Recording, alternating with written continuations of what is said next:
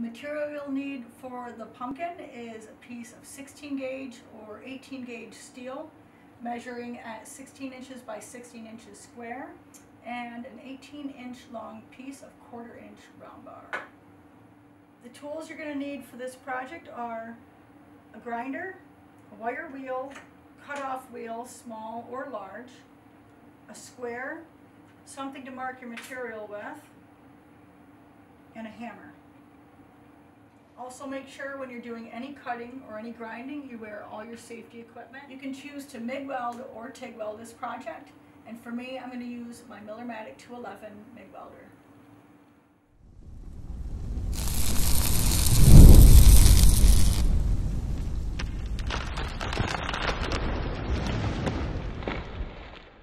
Using your square, mark and cut your material 16 inches long and an inch and a half wide. We're going to cut six strips that size.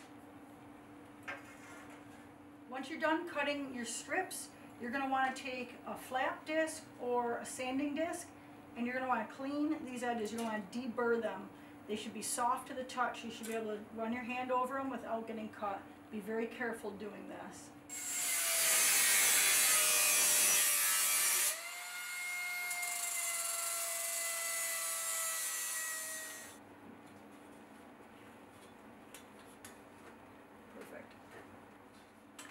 Once you find the shape that you like, go ahead and set that there. Use that for a template. Make the same shape with the other five pieces. Now that we have all our shapes bent, you can take two of them and you want to kind of fit them up so that they're exactly the same. Set them like this and you're going to get an idea of what your pumpkin is going to look like. Make sure that that bottom right here kind of curls in a little bit. That way, like when the top touches, the bottom is still curled up. That way when the pumpkin sits on the table, it's not going to go rolling away on you. Lay it on the side, butt the two bottom pieces up together, and you're going to place a small tack weld on the top and on the bottom of each side. If you're MIG welding, be very careful because this is thin material. It just needs a little tack.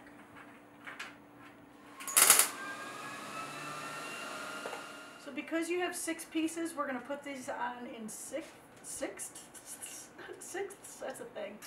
So you want to take, once you have your first loop done, you're going to take two more, and you're going to see how they lay out on here to get it so that they're even. You're going to go from the corner here, these corners back to point.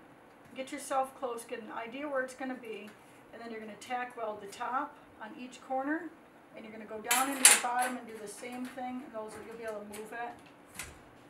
You'll move it a little bit and tack weld once on each corner there also.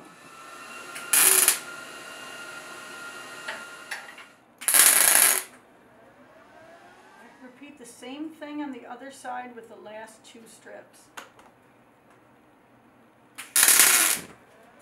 For your stem, we're going to take the remainder of the material. We are going to cut a piece that is three inches wide by six and a half inches. Mark it with your chalk or your marker. Draw a line and just like before, go in with the cutoff wheel, cut it and deburr all the edges. So the idea with this piece is to curve it and make it into the stem of your pumpkin. Yeah, we can just bend it like this. Look at how nice that works. Nice smooth bend.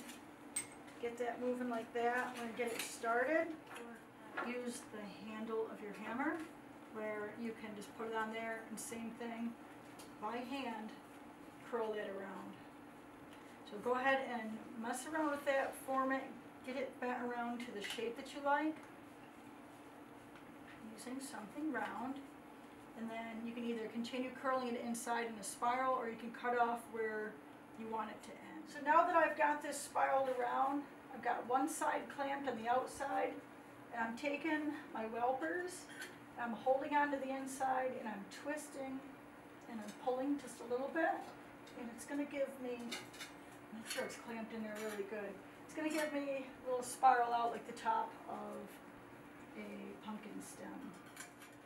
Find which way your stem fits on your pumpkin. You might come over here and there'll be a big gap in the bottom, but if you turn it just a little bit, it literally just has a little way that the way the bottom is done, that it sits right there. Now I've screwed mine up. There we go.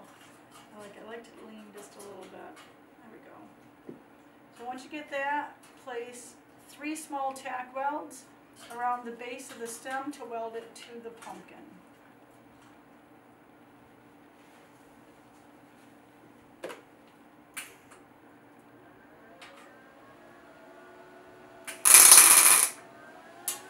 So I'm gonna take this, is an old plant hanger, 5 eighths inch um, round, and I'm gonna weld it to my bench.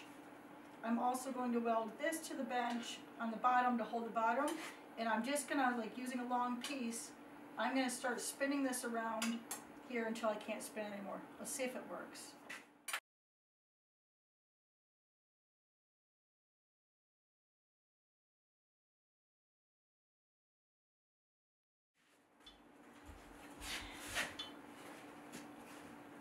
There it is, by hand. So now I just go and cut the bottom off each one, and we'll have a little spiral piece to put off our pumpkin, and we can actually cut it in half and have two spirals to put off the pumpkin. So as you can see, I've gone in now, I've cut that spiral in half, and I've tapered the end using my grinding disc. Before I weld these on, I'm going to take a wire brush, or you can go in with your surface conditioning disc, you want to clean all that weld discoloration and any weld spatter off of your project now, so that once this is in here, you don't have to really work around it. Once you get that done, go ahead and place your little spirals. Place them however you want, whatever looks good to you. And just simply place two tack welds, one on either side of the base of the spiral. And then finish the whole project off by wire brushing it clean and getting any weld discoloration or weld spatter off. Super fun and easy project. It makes a great gift for someone for Thanksgiving. It's also just a very little material to make something that's super cool. And again, you saw how I really just experimented with how to get this corkscrew. I've never done that before. And simply by welding it and welding it around or just wrapping it around the other bar, it let me get that listen, I experiment with stuff. It's fun. That's the best part to do with your art is just try different stuff and experiment. Some stuff works and some stuff you learn. So happy welding, y'all.